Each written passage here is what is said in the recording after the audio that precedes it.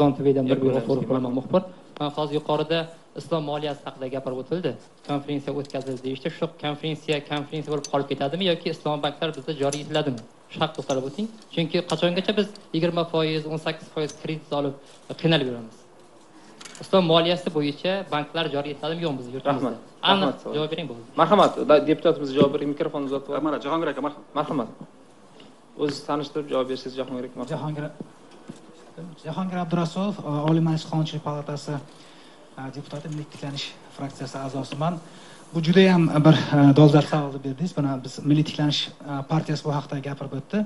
Demak islomiy moliyalashtirish moliyalashtirish ya'ni sherikchilik asosida moliyalashtirish bu bizni milliy tiklanish demokratik partiyasini saylov dasturida belgilangan edi. O'zbekistonimizda aholisi to'qson foizdan ko'pi islom diniga e'tiqod qilishi qilishi Э, hammamiz bilamiz. Va shu to'qson foizdan ko'p e'tiqod qiladigan odamlarni yigirma foizi ya'ni o'z e'tiqodi tufayli moliyaviy xizmatlardan bank xizmatlaridan hozir an'anaviy bank xizmatlaridan foydalanmaydi.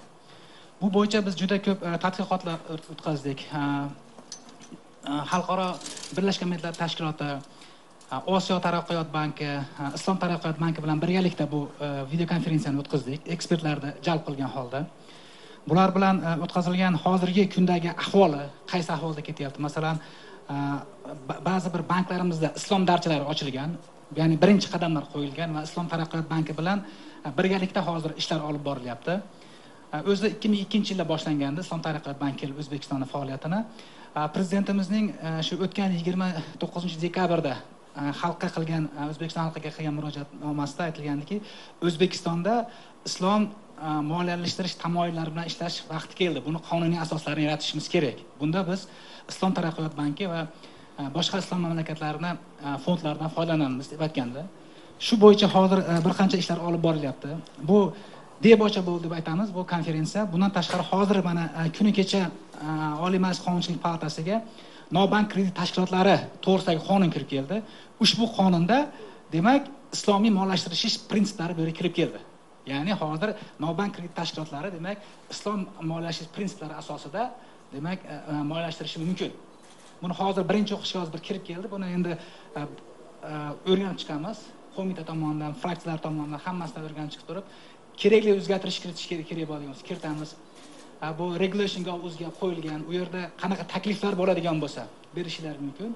Demak buni prinsiplarini demak boshqa mamlakatlarda rivojlangan buni busiz bizda rivojlanish bo'lmaydi. Agar biz xohlasakki demak e, mamlakatimiz e, yanada e, iqtisodiyoti yuksakroq bo'lishini jahon hamjamiyati bilan yaqinroq ishlashni xohlaydigan bo'lsak mana bilasizlar bu juda ham bu islom moliyalashtirishi nafaqat islom mamlakatlari balki angliyada kanadada germaniyada shu mamlakatlarda rivojlanib ketgan hozir rossiyada ham rivojlanadi qirg'izistonda qozog'istonga bunda bunda yo'l ochilgan. Shu sababli biz ham e, shu parlamentda buni e, ko'tarib chiqib shu boshqa e, qonunchilik hujjatlariga ham o'zgartirish kiritmoqchimiz.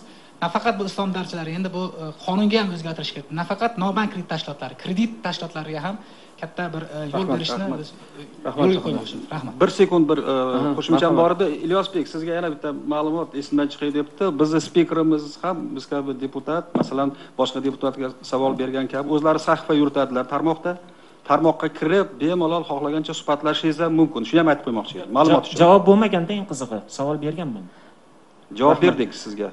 Rahmat